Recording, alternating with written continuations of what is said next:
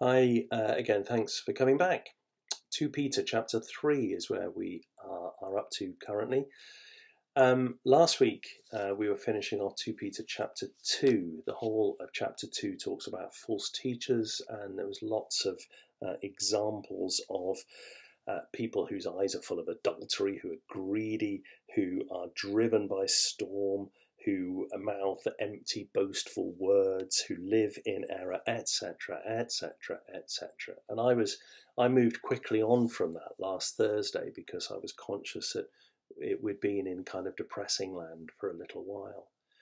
Moving into chapter three, we've got something much more, uh, much better for us. Uh, Peter talks about wholesomeness, wholesome thinking, the end of, of verse one.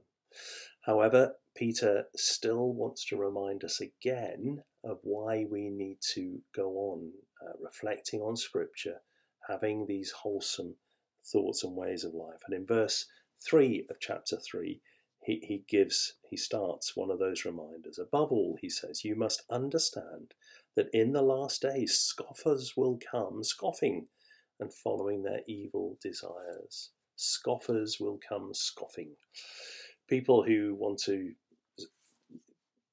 talk down the power of, of Almighty God, people who want to laugh at those who uh, who dare to follow His ways, people who, who find it amusing or entertaining that we, as uh, intelligent, rational human beings, should want to uh, reflect upon Him and, and seek to follow His ways. That will happen.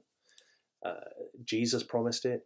Uh, Paul promised it. Peter promises it. The prophets promised it, and it's a fact of life that not everybody will understand the necessity to draw near to God while he may be found and to honour and worship him.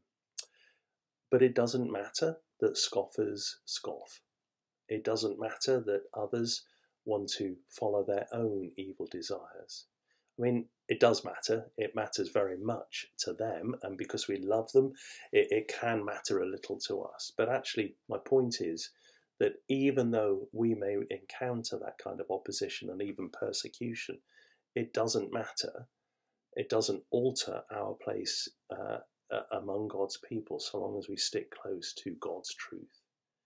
and so, uh, whilst taking heed of this warning, remembering that scoffers will come scoffing and um, following their own evil desires, our task is to stay close and faithful to Almighty God. Our task is to remain uh, close to Him, to recall the words spoken in the past by the holy prophets, uh, to be reminded of the commands given by our Lord, and to base our lives on those, not to base our lives on somebody else's ideas of what is amusing or entertaining or true.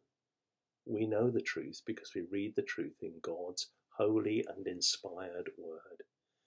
So let's not allow the scoffers who scoff to influence our desires, to twist our ways into towards their evilness, but let us instead show our love and appreciation to God by following Him and staying close to Him.